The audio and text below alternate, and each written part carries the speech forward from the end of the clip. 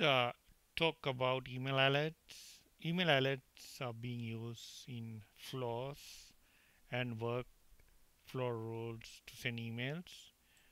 You go to setup and in the quick find box you type email alerts. You end up here under process automation and workflow actions. You click email alerts and then you're going to create a new email alert new email alerts. You can trigger an email alert from a workflow rule or a flow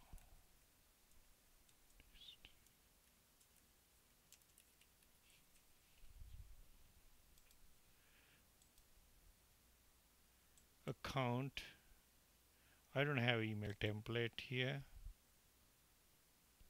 let's see if I have it. I have few out of the box ones yeah. These are developer box select recipients user.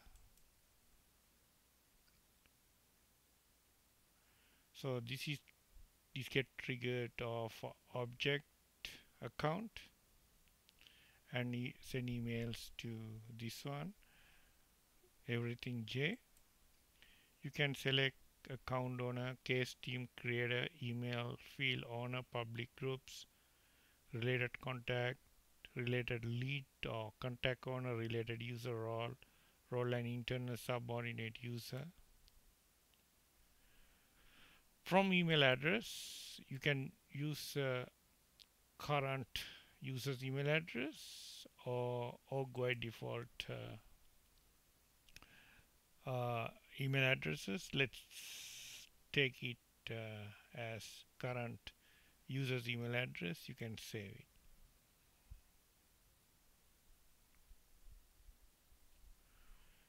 Um,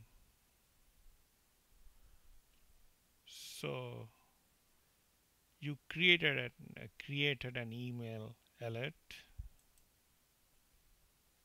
There's a typo here, so.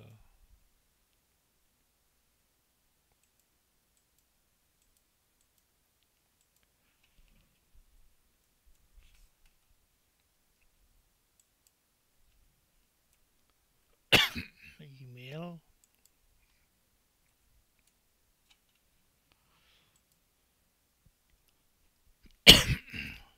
so yeah we create an email alert. This is the email template.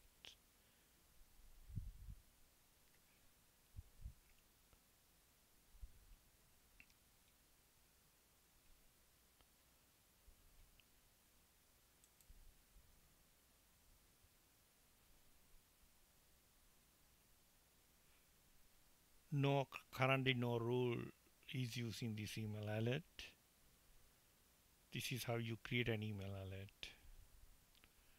I have workflow rule. You can modify it to send an email alert. It triggers off account here.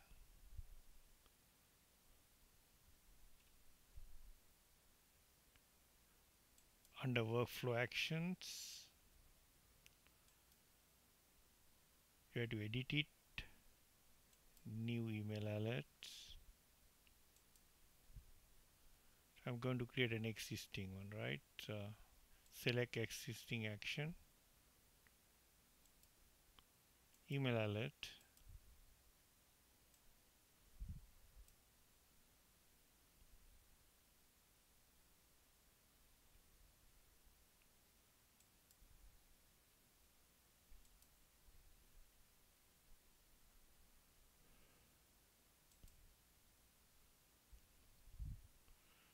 so.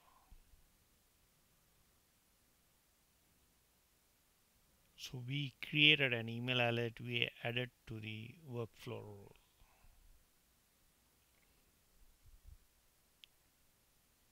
this is the email alert.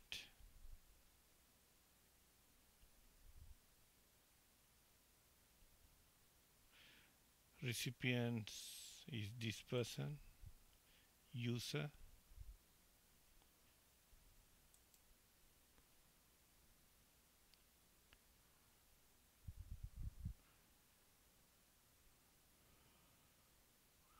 so you know how to create an email alert yeah